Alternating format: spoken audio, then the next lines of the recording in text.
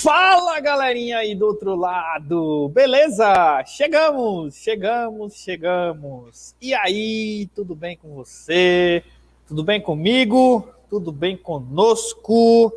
Empolgado, empolgada para essa aula de hoje? Hoje, aula para você, né? Estudante do nono ano. Pois é, estamos junto aqui mais uma vez para aprender, né? Para aprender matemática do melhor jeito que a gente conseguir, do jeito que for mais legal, do jeito que for mais leve, mais simples, né?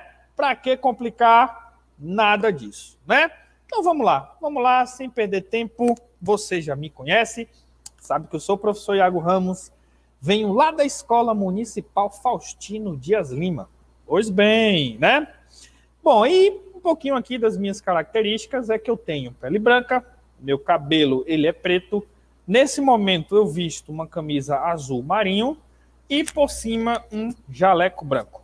E atrás tem o cartaz da Secretaria Municipal de Educação de Feira de Santana. Tá bom? E o que é que nós vamos aprender nessa aula aqui, né? De tudo que está aparecendo ali na tela e que está escrito, que vai ser importante para nós nessa aula, né? É a parte que fala sobre variação de duas grandezas, certo? Essa parte aí é que vai ser importante, tá? E essa variação de grandezas a gente vai usar, né? O que a gente chama de sentença algébrica, que está aparecendo ali também no slide, né? Na apresentação aí da tela, tá? E essa parte algébrica tem a ver com a parte da matemática, né? Que para fazer cálculos, precisa usar letras. Pois é, né? A gente sabe que existe sim essa parte da matemática e a gente começa com ela hoje, aqui nessa aula. Tá bom? Vamos lá. Deixa eu te fazer uma pergunta massa aqui, ó. Você conhece a matemática? Pois é, matemática. Olha só que coisa bacana. Professor, eu conheço a matemática. A matemática, eu acho que eu ainda não conheço. Bom, mas eu tenho, né, certeza que você aí já deve estar associando, ó, matemática com mágica. Ou seja, fazer mágica usando matemática. É por aí mesmo. Pois é, né? Esse negócio de matemática é legal, ó a gente usa a matemática de um jeito divertido para fazer truques e esses truques têm um sentido matemático, né? Então essa é a parte, né? Essa é o que a gente chama de matemática, né? Estou apresentando ela aqui para vocês. Tá, professor, então quer dizer que o senhor nessa aula vai usar a matemática? É por aí, né? nós temos sim um pouco de matemática que eu trago aqui para essa aula de hoje, para a gente chegar no assunto que a gente precisa ver, né? Que eu falei no início da aula que tem a ver com variação de duas grandezas e a parte da sentença algébrica. Mas calma, vamos devagar, um passo de cada vez, né? Para a gente ir construindo o nosso aprendizado, beleza? Mas já curtiu a ideia da matemática? Então se ligue nessa ideia que eu estou trazendo nessa aula aqui, ó. Você aí do outro lado que me vê ou que me ouve, acredita que eu consigo descobrir a idade de qualquer pessoa, inclusive a sua, a partir do número do seu calçado? Eu vou repetir o que eu disse. Eu consigo descobrir a idade de qualquer pessoa, qualquer pessoa, apenas com o número do calçado dela. Mas, né, talvez você esteja pensando assim, professor, isso não dá certo, professor. Não tem como você descobrir a idade de alguém usando o número do calçado da pessoa, professor. O que é que tem a ver o número do calçado da pessoa com a idade?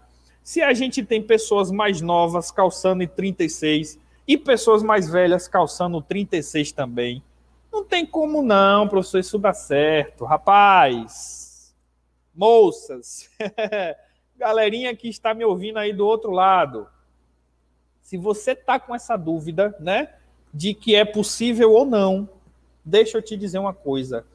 É possível e eu vou mostrar para você que é possível. Não tá acreditando? Calma, que a gente vai ver agora, né? Só que assim, ó, você vai precisar de uma calculadorazinha. Pode ser a calculadora do celular, certo? É só para a gente facilitar alguns cálculos que a gente vai fazer. Afinal, a ideia é usar a matemática, é fazer truque com a matemática. A ideia é essa. Beleza? Tá?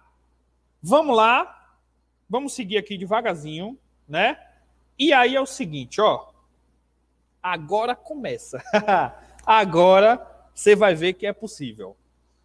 Na calculadora aí, certo? Que você tá em mãos, pode ser a calculadora do celular, tá? Calculadora do celular. Digita o número do, do seu calçado aí. O número que você calça. Mas aí você pode perguntar, professor, tem calçado meu que tem dois números? Sei lá, 35 e 36. 37 e 38. 39 e 40. Beleza, não tem problema. Escolha qualquer um dos dois. Se o 35 ou se o 36, se o 37 ou se o 38, a escolha é sua. Escolha um, chegue na sua calculadora e digite esse número. Beleza? Depois não faça mais nada, até eu dar a ordem do outro passo. Beleza? E o outro passo é o seguinte: esse número que você escreveu na calculadora, que é o número do seu calçado, você vai multiplicar por 5. Vai digitar na calculadora vezes 5. E não esqueça de teclar o igual para sair o resultado. Tá bom? Repetindo. Digita o número do seu calçado. Multiplica por 5, dá o igual, espera sair o resultado. Saiu o resultado, Ótimo. Vamos ao próximo passo. E o próximo passo é esse resultado que apareceu aí, somar 50. Você vai digitar agora na calculadora mais 50, tecla o igual, para sair outro resultado. Beleza? Mas eu sei que talvez você esteja pensando assim, professor, isso aqui não tem nada a ver com a minha idade tá dando um número aqui que não tem nada a ver. Calma. Calma, que no final disso eu prometo que você vai tomar um sustozinho de leve. Beleza? Vamos fazer assim? Deixa eu repetir os três primeiros passos para você não se perder.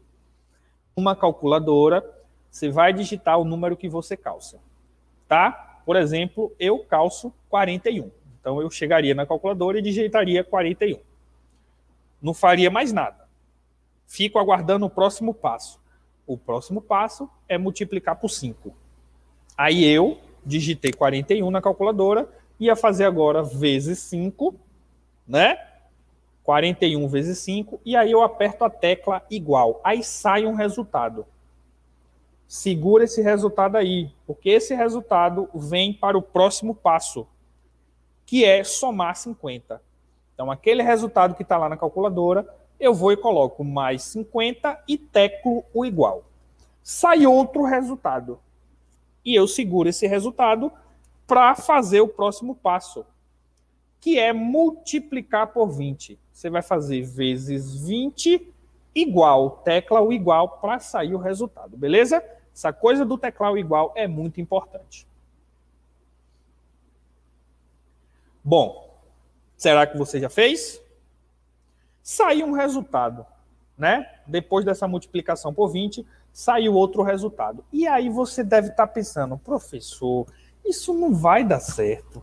Esse número só está ficando cada vez maior. Está muito distante da minha idade, professor. Como é que o senhor vai descobrir a minha idade? Calma. calma. Calma. Vamos seguindo, tem mais um passo. Esse resultado que está aí na sua calculadora, você vai somar 1021. Tá bom? Então vai ser mais 1021. tecla o igual espera sair outro resultado. Eu sei, tá ficando cada vez maior o número, né? Eu sei, eu sei. Calminha, vai dar certo. Saiu um resultado aí, mais um passo. Esse último resultado que você achou, você vai subtrair o ano que você nasceu. Ou seja, o último resultado que você achou na calculadora menos o ano do seu nascimento. Beleza. Você encontrou aí um número, tá? Mas eu quero fazer assim, eu vou repetir todos esses passos de novo. Caso você não tenha conseguido acompanhar, certo? Uma calculadora pode ser a calculadora do celular. Você digita o número que você calça, o número do seu calçado. Digitou, próximo passo é pegar esse número que está digitado vezes 5. Aperta o igual, aparece um resultado. Segura esse resultado, próximo passo, mais 50. Soma 50. Vai na calculadora, mais 50, tecla o igual nasce outro resultado. Esse novo resultado, multiplicar por 20 vezes 20, igual na calculadora. Apareceu um outro resultado. Esse outro resultado, mais 1021. Somar 1021. Vai na calculadora, mais 1021. Espera um outro resultado. Esse último resultado você vai fazer menos o ano que você nasceu. Prontinho. De uma coisa eu já tenho certeza. Você encontrou um número que tem quatro algarismos. São quatro algarismos formando um número. E aí agora, né? Você fala assim, professor, eu falei que esse negócio não ia dar certo, professor. É um número muito grande. Tem nada a ver com a minha idade isso aqui, professor. Não tem. É, Passou dos 3 mil, professor. O que, é que isso aqui tem a ver com a minha idade? Olha só. A sua, olha só a sua expressão, como é que vai ficar agora. Presta atenção. Nesse número de quatro algarismos, olhe os dois primeiros.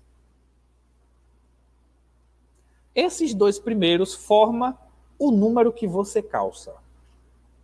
Se você tivesse um espelho agora para se olhar para olhar a sua expressão diante do espelho seria muito bacana. Confere, os dois primeiros formam o número do seu calçado. Os dois últimos formam a sua idade. É isso mesmo. Ou a idade que você já tem, ou a idade que você vai completar esse ano, esse ano aqui, onde essa aula está sendo transmitida. e aí, Deu certo ou não deu? Eu não disse que daria? Pois bem. E sabe qual é o legal disso aqui? É que isso dá certo. Não importa a idade da pessoa, não importa o ano que ela nasceu, não importa o número que ela calça. Dá sempre um número de quatro algarismos, onde os dois primeiros tem a ver com o número que a pessoa calça, os dois últimos têm a ver com a idade da pessoa. Olha só que bacana. Matemática é massa, né? Vamos admitir isso de uma vez por todas, né? Matemática é show de bola. tá bom? Bom, por que que dá certo? Você deve estar com esse negócio aí martelando na sua cabeça, né? Por que que isso dá certo, professor? Como assim? a gente vai entender o porquê que isso dá certo. Mas a gente vai entender isso usando a parte da matemática chamada de álgebra. A parte da matemática que precisa usar letras para fazer cálculos. Tá bom? Beleza? Bacana. Mas é o seguinte, ó, vamos fazer assim, vamos fazer um momento de pausa. Vamos pausar aqui um minutinho na aula para que o nosso cérebro consiga né, guardar o máximo de informações que a gente pegou até aqui. Parece uma coisa simples, mas essa pausa que a gente faz, né, e que a gente respira, a gente concentra, ajuda sim o nosso cérebro, né, a segurar as informações. Beleza? Então vamos fazer isso? Um minutinho só. Eu vou botar na tela e depois dessa pausa a gente retoma. Valeu? Um minutinho aí na tela.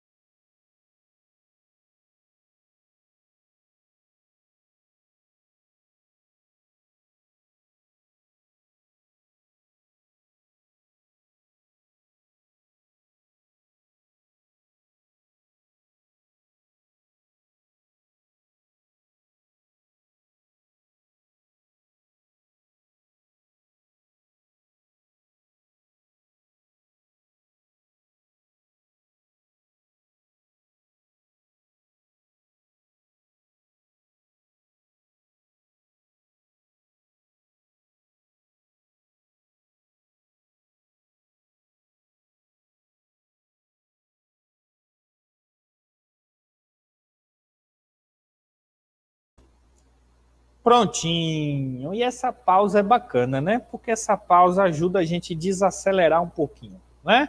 A gente ficar um pouquinho mais calmo, mais calma, mais tranquilo, mais tranquila. E dentro dessa tranquilidade, a gente volta e avança. Se ligue, vem aqui comigo, vá. Olha só. Vamos lá. Opa. Isso, agora sim, professor. Agora tá certo.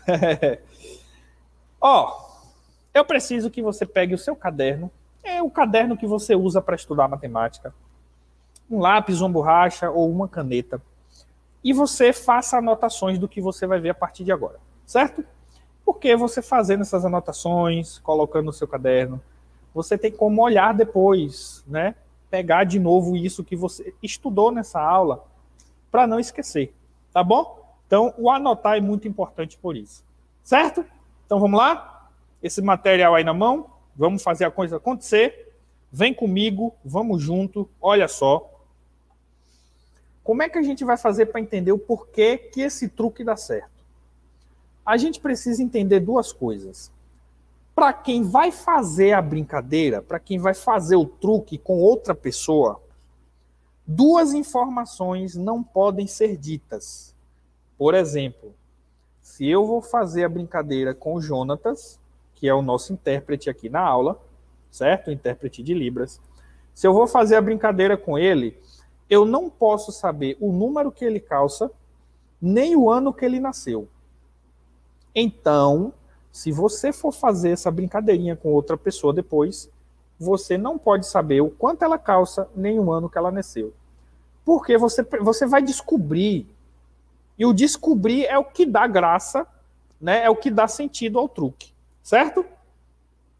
E na matemática, quando a gente tem números que a gente não conhece, quantidades que a gente não conhece, valores que a gente não conhece, a matemática diz assim, ó, use letras no lugar desses valores que você não conhece.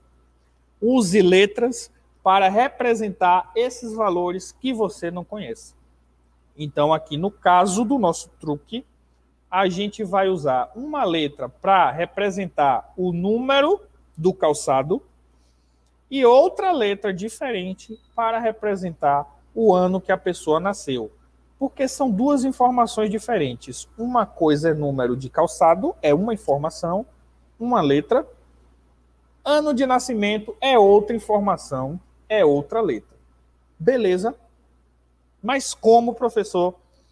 Vem agora comigo que a gente vai rascunhar isso, certo? A gente vai fazer isso na tela, vai prestando atenção, pegando cada detalhe que eu vou tentar explicar aqui para você, para que você possa entender. Certo? Então vamos lá? É hora do rascunho. É eu aqui na tela, você vendo, e o que for de legal você vai anotando aí no seu caderno, tá bom? Fica tranquilo, fica tranquila, porque não é nada absurdo de se entender. É algo tranquilo. Falou? Vamos lá? Vem comigo, olha só. O número que a pessoa calça eu vou chamar de X. A gente viu pela brincadeira que pega esse número e multiplica por 5. Então vai ser 5 multiplicado por X, que é o número que a pessoa calça que eu não conheço. Estou usando uma letra. e 5 vezes x é 5x. Esse resultado de cima, que é o 5x, o próximo passo é somar 50. Então, eu escrevo 5x mais 50. Não dá para somar os dois. Uma coisa tem letra, outra coisa não tem. A matemática não permite que some. Então, o resultado de cima, que é 5x mais 50, eu vou multiplicar por 20. Só que tem um detalhe. Esse 5x mais 50 é todo ele multiplicado por 20 porque todo ele é que vai gerar o resultado para ser multiplicado por 20. Então, por isso que ele aparece dentro dos parênteses. E aí, como é que multiplica? Pega o 20, multiplica por 5x. Como é que faz isso, professor? É só fazer 5 vezes 20, que dá 100, e repete o x. Depois, ainda falta alguma coisa no parêntese para multiplicar por 20, que é o 50. 5 vezes, aliás, 50 vezes 20 mais 1000 né? Era mais 50 vezes 20, mais 1.000. Agora, esse resultado de cima, que é o próximo passo, né? O 100x mais 1.000, você vai somar com 1.021. Lembra que na brincadeira eu mandei somar com 1.021? Beleza. Só que agora tem uma coisa legal aí, ó. O número 1.000 e o número 1.021 dá para somar, né? Só não dá para somar aquele que tem x ali, mas o 1.000 e o 1.021 dá para somar. Então, fazendo 1.000 mais 1.021, né? Vai dar 2.021. 100x mais 2021. Segura esse 2021 aí. Daqui a pouco a gente vai fazer um comentário sobre ele, certo? O último passo da brincadeira é você pegar o resultado que está em cima, 100x mais 2021, e subtrair o ano de nascimento, né? Fazer menos o ano de nascimento. Só que o ano de nascimento, quem vai fazer a brincadeira não pode saber o que é, quanto é. Então, uso uma letra. Vou usar uma outra letra diferente da do X, vou usar o Y. Beleza? Prontinho. Esse último resultado que a gente achou, 100x mais 2021 menos y, isso faz com que o truque dê certo.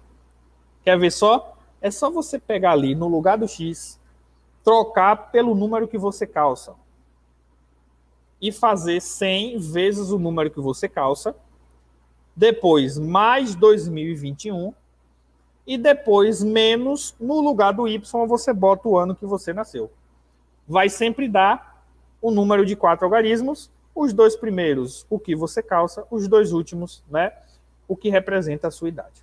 Mas vamos voltar ali naquele 2021 que está grifado. 2021 é o ano em que essa aula está sendo transmitida para você para aparecer o 2021, eu preciso pedir que você some 1021. O que é que eu estou querendo dizer? Se você vai fazer essa brincadeira, esse truque com uma pessoa no ano de 2022, naquele passo de somar 1021, você vai mandar somar 1022. E assim vai. Se você está no ano de 2023, naquele passo manda somar 1023. E assim por diante. Tá bom? Agora, o que é que eu quero de você? Esse número que a gente acha, o último resultado de quatro algarismos e o ano de nascimento dela. Tem uma variação entre essas duas informações. Essas duas informações variam. O ano de nascimento e o resultado que a gente encontra de quatro algarismos. Certo? Tá bom? E qual é a variação que acontece ali? A variação é o seguinte, ó, vem comigo. A gente chama isso de variação inversa. Por que variação inversa? Porque assim, ó, todas as vezes que dentro daquela expressãozinha o ano de nascimento for aumentando, o número do ano de, na de nascimento for ficando cada vez maior, o resultado vai fazendo com que é, é, vai fazendo com que o resultado fique menor, né? Quanto maior o número do ano de nascimento, menor o resultado fica. É por isso que é chamado de variação inversa. Uma coisa está aumentando e está fazendo com que a outra diminua. Isso na matemática é muito importante. É um conceito muito importante de variação de duas grandezas, tá? Grandezas é tudo aquilo que a gente consegue medir ou dizer uma quantidade. O ano de nascimento pode ser uma quantidade e o resultado ali é um número que representa a quantidade também. Então, beleza sobre a variação inversa? Ou você pode pensar assim, ó, quanto menor o ano de nascimento, né, é, você vai fazer com que o resultado, né, ele aumente, né? Por exemplo, uma pessoa que nasceu em 1990, né? O resultado dela vai ser um número maior, porque ela é mais velha. Diferente de uma pessoa que nasceu no ano 2000, essa pessoa vai ter um resultado menor, né? Porque ela é mais nova. Então tem essa coisa da variação aí acontecendo, certo? Bacana? E a parte da álgebra, que eu falei lá no início da sentença algébrica, foi aquele último resultado que a gente achou e que faz com que o truque dê certo. Beleza? Bom, ficou alguma duvidazinha? Calma, não precisa de desespero, né? Porque você pode acessar de novo essa aula lá no canal do YouTube da Seduc Feira de Santana. Vai no YouTube, coloca lá Seduc Feira de Santana, abre o canal, certo?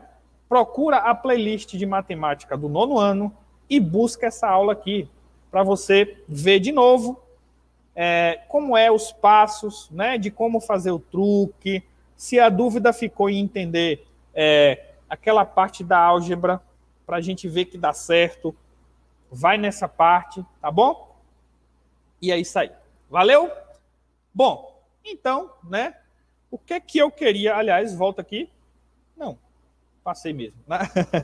Vamos lá. O que é que eu queria que você fizesse agora? É um momento para você avaliar, né? Para você olhar para você e perceber o que é que você aprendeu nessa aula. Então, qual é a, a técnica que eu vou usar com você? Em seu caderno, você escreve um comentário sobre o que você mais gostou dessa aula. Por que, que isso te ajuda a você se avaliar? Porque quando você vai pensar no que você mais gostou, o seu cérebro vai trazer à sua memória alguns momentos da aula. E esses momentos da aula vai trazer no seu cérebro imagens, né, de coisas que você viu, né, e que essas coisas, né, vão fazer parte do que você aprendeu, tá bom? Então, faz esse comentáriozinho do que você mais gostou, nada grande, né? Deixa registrado no seu caderno. Quando precisar, você volta e você consulta, que é para você ver o que é que você aprendeu nessa aula aqui. Beleza? Show de bola, foi muito massa, né? Curtiu essa aula? Eu curti, nós curtimos, esperamos que você também. Mas, é, infelizmente, essa aula chega ao fim, mas calma, que a gente tem mais aulas juntos aí e vai ser muito maneiro também. Beleza? Então, fica o nosso recado e a gente viu nessa aula que é isso mesmo, tá? Eu começo, você termina. Matemática não é problema, matemática é. É isso aí. Valeu, até a próxima.